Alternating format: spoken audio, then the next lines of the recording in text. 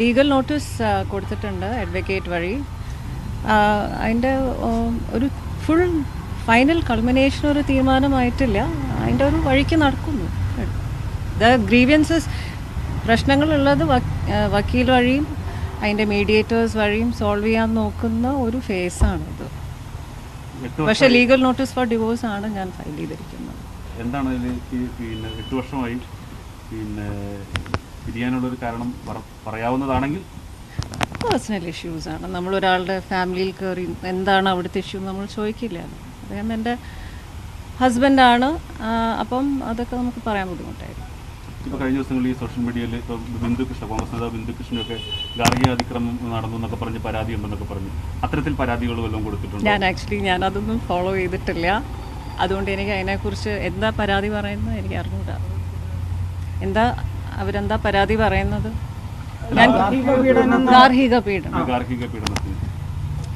അങ്ങനെയൊക്കെ നമ്മൾ ഒരു ഒരു വാക്കിൽ കൂടെ ഗാർഹിക പീഡനം എന്നൊക്കെ പറയുന്ന വളരെ സ്ട്രോങ് ആയിട്ടുള്ള വാക്കുകളാണ്. അതോ എനിക്ക് അലിഗേഷൻസ് ഉണ്ടെങ്കിലും അത് എന്റെ അലിഗേഷനിൽ പെടുന്നില്ല. നിങ്ങൾ രണ്ടുപേരും രണ്ട് മേഖലയിൽ നിൽക്കുന്ന ആളുകളാണ്.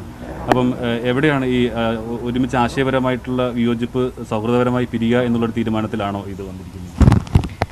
മുകേഷ് ഏട്ടന്റെ നിലപാട് ഇനിയും വ്യക്തമല്ല. എന്റെ സൈഡിൽ നിന്നാണല്ലോ പോയിരിക്കുന്നത്. അപ്പോൾ അങ്ങനെ അങ്ങനെ ദേഷ്യപ്പെട്ട് പിരിയേണ്ട കാര്യമൊന്നും ഇല്ലല്ലോ.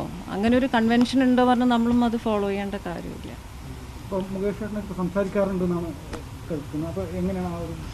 അതായത് ഇടയ്ക്കിടയ്ക്ക് അങ്ങനെ ഒരു പണ്ടത്തെ പോലെ ഈ ഒരു ഫേസ് എന്ന് പറയുന്ന വളരെ ഡിഫിക്കൾട്ട് ഫേസ് ആണ് ആക്ച്വലി ഇപ്പം ഞാനിങ്ങനെ സംസാരിച്ചാലും നമ്മൾ ആക്ച്വലി എന്റെ ലൈഫിന്റെ ഒരു വലിയ വ്യക്തിയാണ് അദ്ദേഹം. അപ്പോൾ ഇങ്ങനെ ഞാൻ സംസാരിക്കാൻ പാടില്ല. ബട്ട്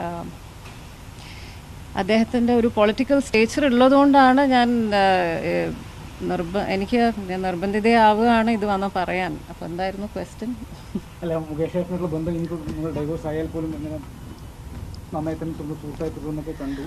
അതന്നെയാണല്ലോ നമ്മൾ ഡിവോഴ്സ് ചെയ്താൽ അങ്ങനെ പോയി എന്നൊക്കെ അതൊക്കെ പണ്ടത്തെ കാലം. ഇനിയൊക്കെ നമുക്ക് എല്ലാ റിലേഷൻഷിപ്സും വളരെ ഇമ്പോർട്ടന്റ് ആണ്. അതിൽ എന്താണോ അതിന്റെ എസൻസ് ഉള്ളത് അത് നമ്മൾ സേവ് ചെയ്തിരിക്കാൻ പഠിക്കണം.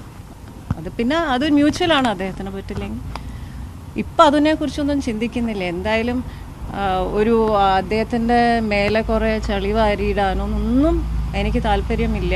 അദ്ദേഹത്തിനും അതുപോലെ തന്നെ ആയിരിക്കും. ഒരു നമ്മൾ രണ്ടും മെച്ചുവർ ആയിട്ടുള്ള ആൾക്കാരാണ്. അപ്പോൾ ആ മെച്ചോറിറ്റി നമ്മൾ പാലിക്കണം. അല്ല അദ്ദേഹം ഈ വാർത്തയോട് തന്നെ ഇല്ല എന്ന് പറഞ്ഞു? പോലും സംസാരിച്ചിട്ടുണ്ടായിരുന്നു. ദേവികയോട് ഇന്നലെ പോലും സംസാരിച്ചിട്ടുണ്ടായിരുന്നു പറഞ്ഞത്? അതാ പറയണത്. അദ്ദേഹത്തിന്റെ നിലവാരം അദ്ദേഹത്തിന്റെ നിലവാരം ഇനി അദ്ദേഹം വ്യക്തം എന്നോടുമാക്കിയിട്ടില്ല സോ എന്റെ സൈഡിൽ നിന്ന് പോയി അത് ഞാൻ ആർക്കും ലീക്ക് ചെയ്തിട്ടില്ല. അത് ലീക്കായി പോയതാണ്.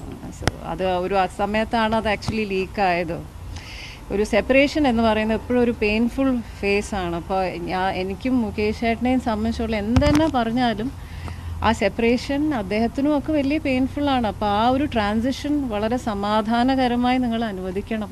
നിങ്ങൾ എന്ന് പറയുന്നത്. നിങ്ങളെല്ലാം പറയണം എല്ലാവരും അത് അത് അനുവദിക്കണം. എന്താ വെച്ചാൽ ഒരുപാട് കാര്യങ്ങൾ ഇതിൽ ഇമോഷൻസ് വരുന്ന ഒരു കാര്യമാണ് അല്ലേ? അപ്പോൾ അതിന്റെ ഇടയിൽ കൂടെ അദ്ദേഹത്തിനെ അദ്ദേഹം ആരുമല്ല എന്നുള്ള രീതിയിലൊക്കെയാണ് വരുന്നത്. ഇത്രയും ഒരു എസ്റ്റാബ്ലിഷ്ഡ് ആയിട്ടുള്ള ഒരു ആർട്ടിസ്റ്റും ഒരു ഒരു എന്താ പറയുക സമൂഹത്തിൽ പ്രവർത്തിക്കുന്ന ഒരു വ്യക്തിയാണ്. ഇതും അതുമായിട്ടൊന്നും എന്റെ ഒരു ഹൗസ് ഹോൾഡ് ഇഷ്യൂസ് കേരളമായി ബന്ധമുണ്ടെങ്കിൽ ഞാൻ പറഞ്ഞു തന്നെ ഇത് എന്റെ ഒരു പേഴ്സണൽ ഇഷ്യൂ ആണ്. ഞാൻ ശരിക്കും ഇലക്ഷൻ കഴിയാൻ കാത്തിരുന്നു. എന്നിട്ട് ഞാൻ എനിക്ക് തോന്നുന്നു അത് കഴിഞ്ഞ ഉടനെ ആയിരിക്കണം. ആ സമയം കഴിഞ്ഞ ഉടനെ ഇവിടെ കൊച്ചിയിലാണോ കൊടുത്തിരിക്കുന്നത് അതെ നമ്മൾ കല്യാണം കഴിച്ച അവിടെ. അതെ. രജിസ്റ്റർ ചെയ്ത് അവിടെ കൊടുക്കണം എന്നാണ് ഞാൻ. ഒരു ഡിസ്കഷൻ അതോ നമ്മൾ സ്വയം തീരുമാനിച്ചതാണോ? ഞാൻ ഞാൻ പറഞ്ഞിരുന്നു മുകേഷ് ഏട്ടനോട് സി മുകേഷ് ഏട്ടൻ വളരെ ബിസി ആയിട്ടുള്ള ആളല്ലേ.